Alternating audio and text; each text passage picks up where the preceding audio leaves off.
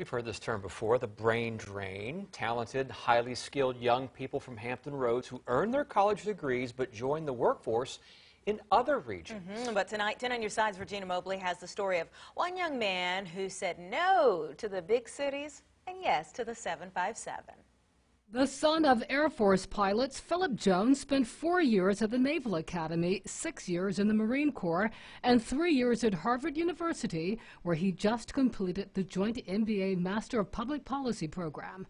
Because of the pandemic, his new employer, the Washington, D.C. office of Bain Consulting, agreed to allow him to work from home. I talked to Bain. I said I would love to live in my hometown of Newport News and still commute, and they were very uh, favorable to that course of action. He has a new career and new plans to help people in his hometown. I joined the Chamber of Commerce.